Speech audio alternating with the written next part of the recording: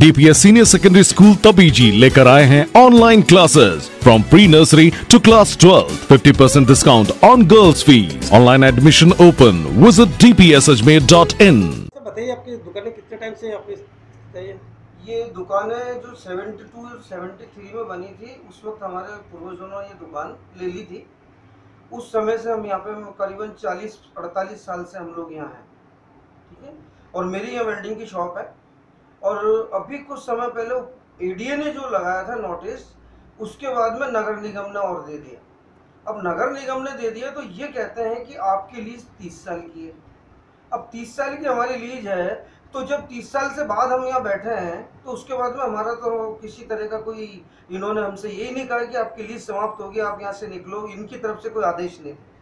दूसरी बात ये है कि जब ये मौखिक रूप से जब ये दुकानें लिखी गई थी, जब ये निन्यानवे साल की लीज पे थी सारी ये इनके एक ही नियम थे।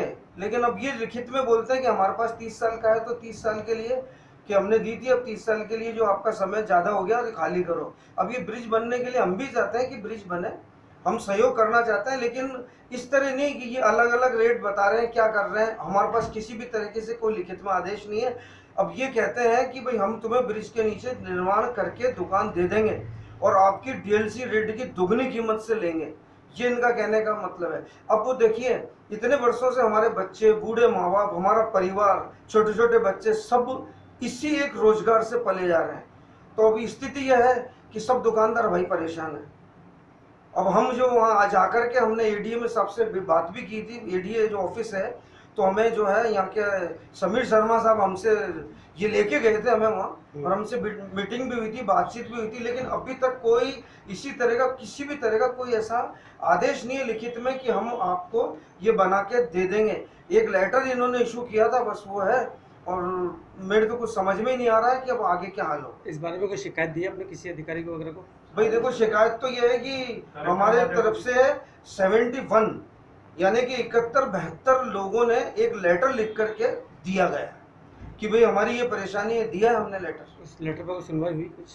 वो तो अब इन्होंने कह दिया कि अभी फ़िलहाल तो आपको दुकानें खाली करनी पड़ेगी हम ब्रिज के नीचे दे देंगे आपको। और ये आश्वासन दिया है। दे कौन देगा? ये इसका कोई जिम्मेदार? ये कोई जिम्मेदार हो कि दे कौन देगा? ऐसा कोई लिखित में किसी भी दुकानदार को यह नहीं दिया गया है कि आपको ये नंबर जैसे मेरे दुकान नंबर ग्यारह है ओ सॉरी तेरह है।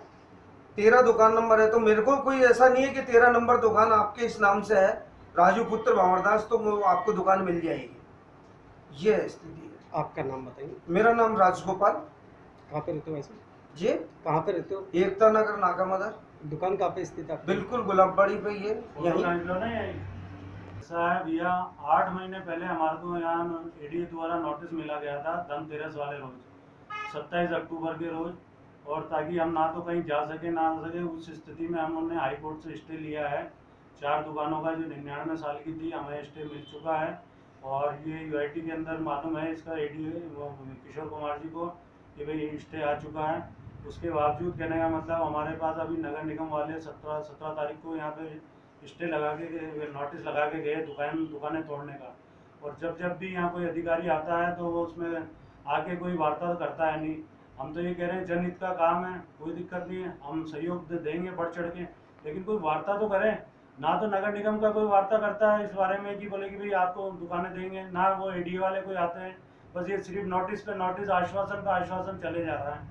अब ये समझ में नहीं आ रहा, आज हमारे को अड़तालीस अड़तालीस साल हो गए, अब कहाँ जाएँगे हम? इतने रोजी रोज़गार छीनेगा लोगों का, समझ में नहीं आ रहा किस हिसाब से हमारा कोरोना तो चल ही रहा है, और उसके बावजूद कहने का मतलब महामारी, इस महामारी के अंदर कहने का मतलब ये गाज और गिरी है।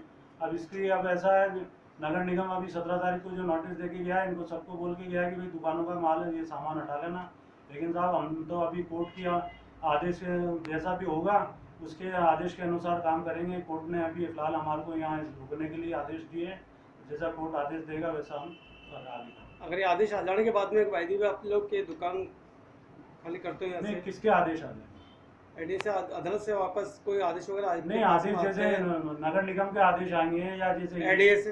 एडीए से क्या आदेश आएँगे? जब एडी के आदेश तो हम पे तो हमने वो लिया इस पे स्टे लिया। ईडी के आदेश पे तो हमने स्टे लिया। और हम बिल्कुल मान्य हैं निन्यानवे साल की हमारी लीज है। और हम तो कह रहे हैं हमारे को जगह दे दो ना हमारे को। इसी, इसी कहीं दूसरी जगह चिन्हित करा दो। पीछे बहुत सारी जगह पड़ी हुई है। लेकिन कभी इसकी कोई समीक्षा कर नहीं रहे ये कानून थोप रहे हैं। एडी वाले कानून थोप रहे हैं कि साहब ये खाली करो। नगर निगम वाले वो कानून थोप रहे कि खाली करो। आप जरा इसकी समीक्षा करें पहले एक बार इसकी सही तरीके से मायने करें। नगर निगम की भी जगह पड़ी हुई है ईडीए की भी जगह पड़ी हुई है हमारे को चिन्हित करा के दे दो। हम हम ले लेंगे हमको हम तो खुद स्वयं हमारा वो यहाँ से ये हटा लेंगे हमारा मलबा दुकान कितनी दुकान वालों ने स्टे रखा है अभी? चार दुकान का स्टे आया हुआ है अभी फ़िलहाल। किस किस के नाम ऐसा है एक तो मैं मेरा खुद का है शॉप नंबर ग्यारह यासिन खान। एक डॉक्टर मोहन शर्मा का है। और एक ये मिस्टर सुरेंद्र सिंह टांग के इसका है, और एक ये सईदा बानो के नाम, इनका है स्टे। हमने वैसे इसकी स्टे की एक प्रतिलिपि वहाँ उनको नगर निगम में दे दी है बाई एडी रजिस्ट्री करा दी है, एक हमने बाई हैंड दे दी है। कल जिलाधीश महोदय से हमने हमारा हमने एप्लीकेशन दे दी कि भाई हमारे को कहीं उचित जगह, हमारे को स्थान दिया जाए, स्थान नहीं देते हो तो हमारे को मुआवजा दिया जाए इसका। आगे आगे और एक मैडम को दे दी हमने मैडम कमिश्नर जो चिन्मयी गोपाल है उनको हमने दे दिया। अब आगे क्या निर्णय होता है देखिए साहब अब आप जो भी होगा जब बैठ के हमारे से कोई बात करे तो हम बात करने को तैयार आपकी हैं दुकानें किस जगह पे स्थित है? श्रीनगर रोड पे junior Mayo college section gate है इस पे श्रीनगर रोड पे। कितने सालों से दुकानें बनी हुई है यहाँ पे? कुल कितने अड़तालीस साल हो गए हैं भाई साहब। सेवेंटी टू सेवेंटी थ्री से इन्होंने वो नगर सुधार न्यास ने ये हमारे को पट्टे दिए हैं। वन टाइम लीज जमा करी हुई है इसकी।